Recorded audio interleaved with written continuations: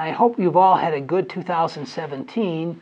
Uh, we had a really good 2017. We received over 5,000 research articles in that year, and we published about 200. And of the 200, we identified in a recent email 10 that we thought were really important. I'm going to tell you about three of those 10 articles that we published in 2017 that I think really made a big difference in medicine and public health. The first of them is a huge study that was done with all the people in Medicare in the United States in the relationship between air pollution and all cause mortality. And what the study showed was that there was a relationship, a strong relationship between air pollution as measured by fine particulate matter, PM 2.5, and all cause mortality.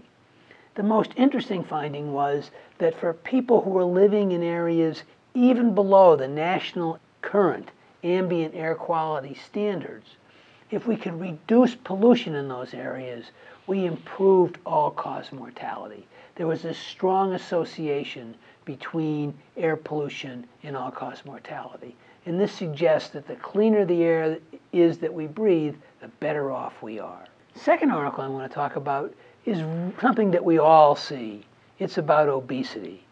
And it turns out that there are more people who meet the clinical definition of obesity and overweight now than there were in the past. In the study that we published that was uh, funded by the Gates Foundation and done by the Institute for Health Metrics in Seattle, they were able to find a relationship um, between time and obesity. So what these data show is that we have more and more people who are meeting the clinical definitions of overweight and obesity. And that's not trivial because those people are contributing to increased morbidity and mortality from heart disease, lung disease, and cancer. And so the onus lies with us to try to figure out ways to have fewer people meet those case definitions so we have a healthier world. Another study with imatinib.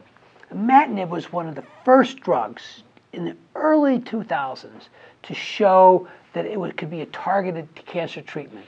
It was for patients with chronic myelogenous leukemia. And this drug seemed like a miracle back then. We now have 15 year follow up, and it turns out it really was a miracle.